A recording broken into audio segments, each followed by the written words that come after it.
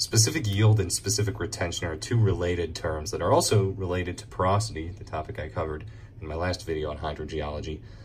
And let's start thinking about them like this. Let's say we have a sample. I'll represent it just as this little box here, this little square, and it's fully saturated. I'll touch on this later, but it is important that it is saturated, meaning that all of the pore space in it is filled. So to represent that, I'll just draw this little water line and pretend that goes all the way up. It's filling all the pore space, right? And we'll say, you know, this isn't in an in situ environment necessarily. It's pretty abstract. Just imagine it as kind of floating in space somewhere. Over time, what's going to happen to this sample, since gravity is acting on it, over time, what we're going to see happen if we draw it again is that some of that water's going to drain out. Okay, easy enough. Let's just say it pools down here. And uh, maybe we got some droplets coming down. Maybe it hasn't fully uh, lost all its water content yet. Okay, well that's easy enough. That's just making sure we understand that gravity is a thing. Okay, gravity acts on soil samples and rock samples and draws water out of them. What's the big deal? Well, this is where we first get into specific yield and retention. And the two are very much related, as I said. Specific yield is going to be the volume of this water that's drained out. And the word specific should cue you in. That is per unit volume of the sample. And retention is going to be the volume of water that is retained, the remainder in here, divided by the volume of the sample.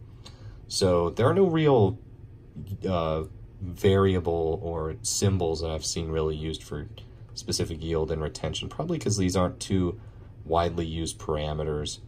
Usually in the field, we're going to be using porosity, but I figure it's good to know where these come from. Yield and retention is going to be, we can call this volume, let's say V sub W for water divided by V sub S sample, and I'll call that V sub water comma D for drained. And then this we'll say retained divided by the volume of the sample. So very similar, we're just looking at the volume drained for yield.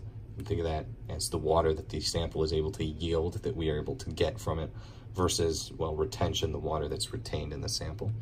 Easy peasy.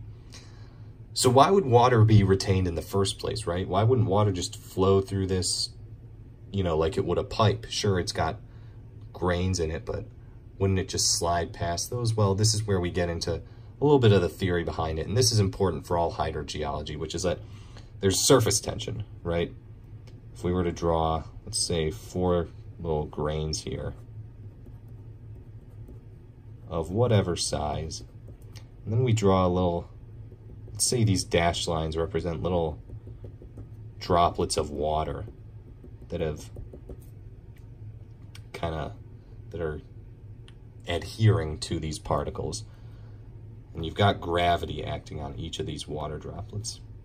I'll mention also, this is just fun fact and kind of a little bit of vocabulary here. The water that's retained, that's held here is called pendular water pendular water, good, good term to know. And it's held up, up there by the surface tension, the surface tension between the water and the grain. So you can think of it as, okay, it's like simple physics, right? We have a force balance. In order for this water, you know, obviously to begin with, it's going to be dripping out. We're going to be getting the water that goes towards our specific yield because it's draining. But eventually, we're going to have so little water that it's so close in on these surfaces here. It's going to be such a thin film that there's going to be so much surface tension, right? Or there's going to be very little amount of that water that isn't getting a lot of surface tension here like there would be if there were a bigger, say, yeah, let's make this, you know, over time it goes from this to this. Why was this water down here? You know, why was it able to drip off? Well, because out here, there's, there's not a lot of surface tension, right? It's not touching, it's not even close to the surface of that grain, right? Meanwhile, over here, we'll say that since it's a much thinner film of water, you're gonna get a lot more surface tension all across it. So that's what allows it to stay up. So we've got surface tension kind of pulling that water up and gravity pulling it down and those cancel each other out allowing us to have retained water. And it does not matter how long you let this drain, how long you let it sit for. Time could go on infinitely long and this water will stay there. So to make that crystal clear, what we have is surface tension, which is pulling it up, balancing gravity. Now, as a final note here, I'll say that I mentioned at the beginning that porosity was related to these two terms.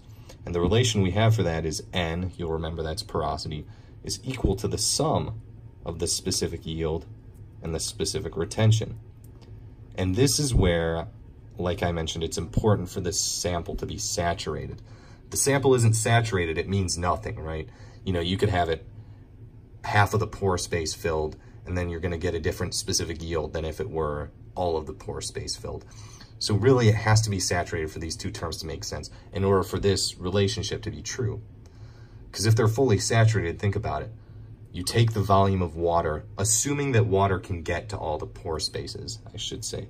Put a little asterisks by that equation because of course sometimes water can't get to. So it may be impossible to fully saturate the sample. But if you've got something like a sandstone, a simple soil sample, things like that, where it's gonna pretty much always be able to easily be completely saturated in a laboratory setting, then the amount of water, the volume that has left it, plus the volume of water that's still in it, well, that gives you the total volume that is not occupied by the sample itself, right? Physical grains, which if you recall, that's exactly what porosity is, the volume of pore space divided by the volume of the sample. If you're curious for testing things like specific yield and retention, usually what we'll do is we'll have a vertical column of some rock or soil sample. We'll flood it from the bottom and that water level will gradually rise up. We usually do it from the bottom so that air can't get compressed and stuck in it and have little air pockets within the sample. So we flood it from the bottom, leave it like that till it's saturated, and then drain it out. And we see how much leaves the tube sample and how much stays in it. Oh, and this is an important final note to make. Because grains, if you have more smaller grains, you're going to have a larger surface area of grains within that sample smaller grain size leads to a higher specific retention and a lower yield. So smaller grain, just make that a note. That's going to raise your retention and drop your yield. So things like clays and silts are gonna have higher retentions and lower yields than things like sands and gravels. So that's a little bit of a topic that you might not see too frequently in practice, but it's good to know these concepts and especially their relationship with porosity because it can be a method of measuring porosity indirectly in a laboratory setting.